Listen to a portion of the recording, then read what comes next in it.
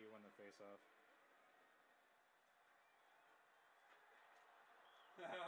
Scored. The Oilers win the Stanley Cup playoffs, but what happens?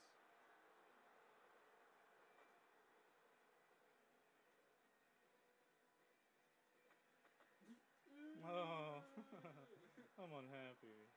Hey, there's the cup. Awesome. Looks like he's barely holding on to it with his monkey hands. Ooh, don't drop the cup. That was it?